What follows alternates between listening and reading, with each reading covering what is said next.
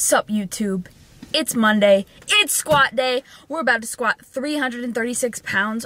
RPE air. Confidence level with squats is so high right now. Such a good mindset going into this. Gonna lock the in and squat some heavy ass weight. Literally just squat down and stand up. That's all you gotta do. And that's the mindset going into it and we're gonna crush this shit. I am vengeance. I am the night. I am Batman. Let's go squat a significantly large house.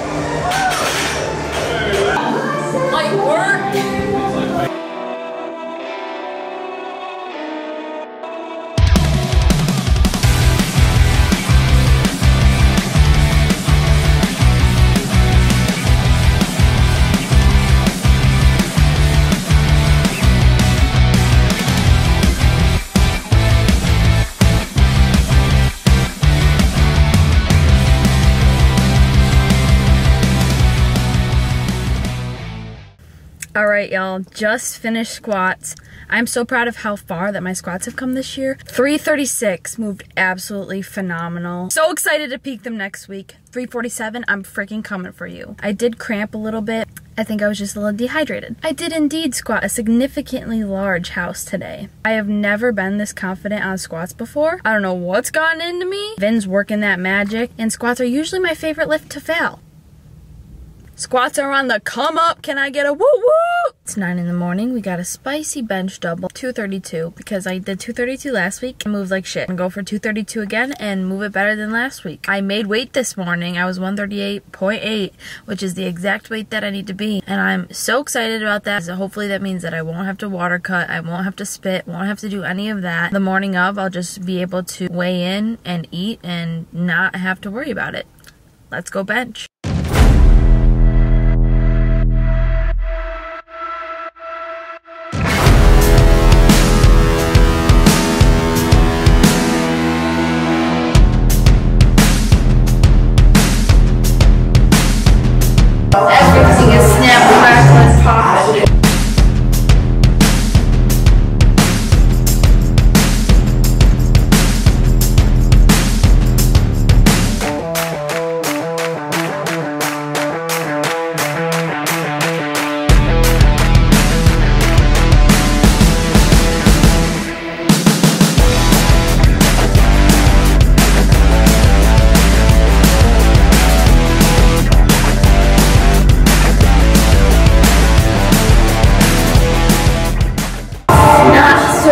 So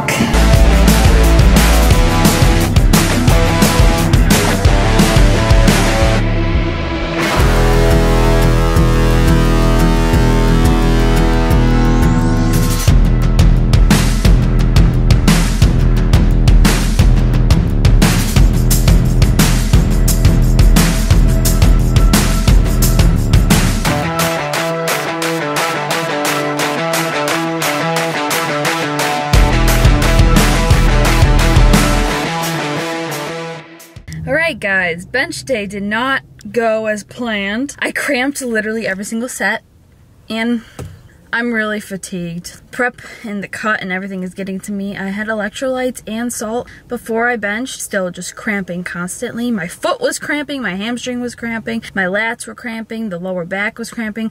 Literally everything was cramping. So I did 232 for two with two second pauses and I almost died, let's just say that. The bar almost just decapitated me. I got it up nonetheless. Told Ben not to touch it. I said, don't touch it, don't touch it. Yeah, not so much light work, but you know, it still moved at 138.8 body weight, which is my lowest weight. 232 for a double. I'll take it. Tomorrow is going to consist of me squatting, getting my lashes did, and then resting for the rest of the day, preparing myself for the big deadlift on Thursday. So, yeah, let's squat.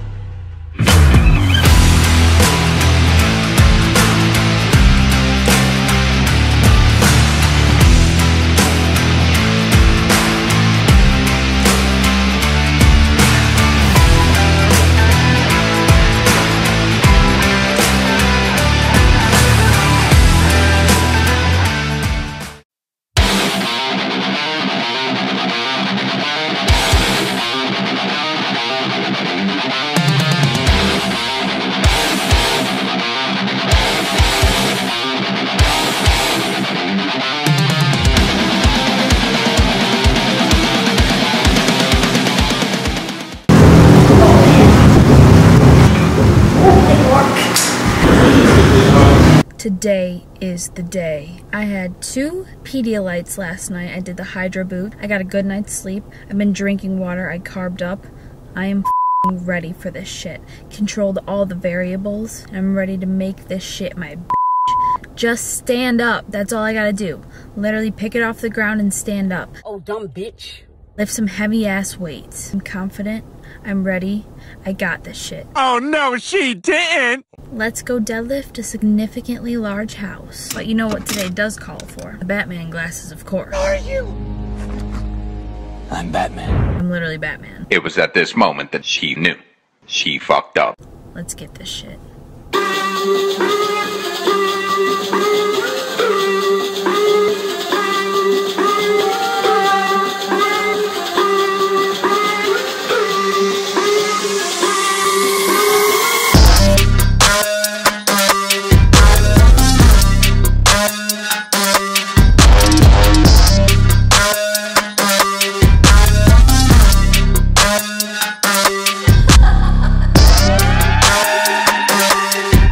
Suspicious.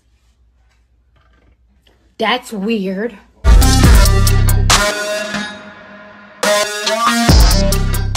Two hours later.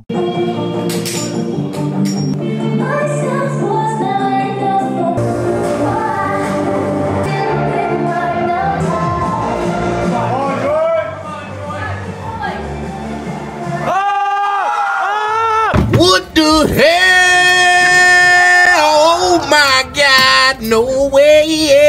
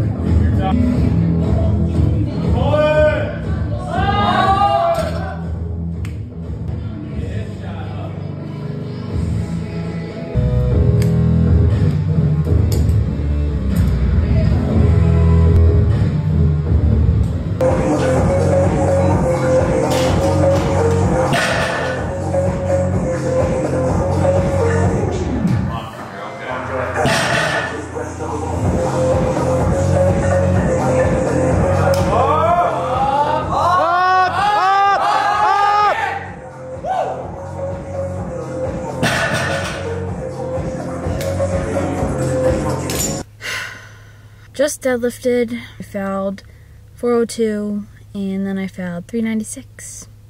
Just wasn't there today. Back kind of tensed up after 402. I figured I'd just try and chip my current PR, which is 392. And I went for 396 and I got it off the ground, almost past my knees, and I failed it. Mentally, trying to cope with it. Gotta trust the taper, I guess. My body is beat up. It's going through a cut. It's low on calories, low on carbs, and pushing myself really hard. I need to remember that. And failure is a part of the process, and you have to trust the process. And just keep going. You can't let failure define who you are as a lifter. You have to let it build you. Use that failure as motivation rather than let it discourage you.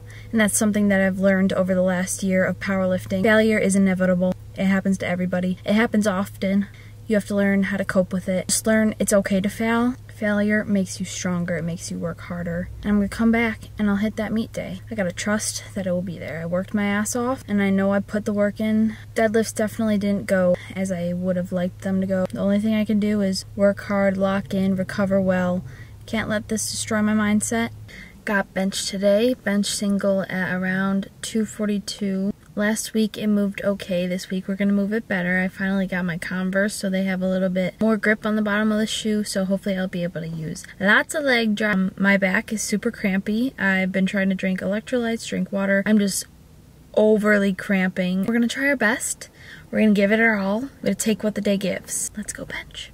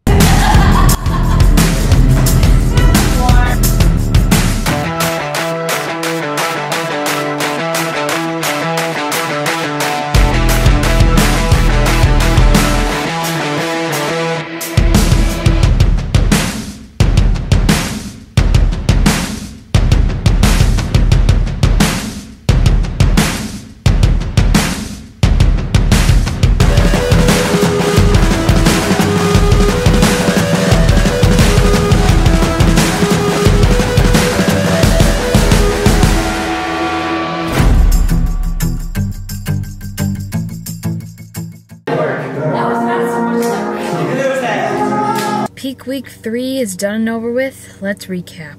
Had a really good squat on Monday. Squats have been moving really well. Can't wait to peak them on Monday. Bench, giving me a run for my money this week.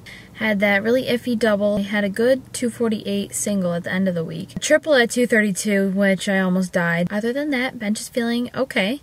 Deadlift, you live and you learn. It's done, it's over with. Gonna keep moving forward. Hit that shit at nationals. Really focusing on recovery leading up to peaking squats and bench next week. I'm still feeling pretty good despite the circumstances. My calories are finally getting a little higher so I can eat a little more, feeling more energized, feeling good in that aspect. I'm almost at weight so I won't have to cut down Feeling a little nervous. It's getting close. I can't believe it's less than two weeks away. Very excited. Just can't wait to compete again. I love competing. Stay tuned for Peak Week dropping next Sunday.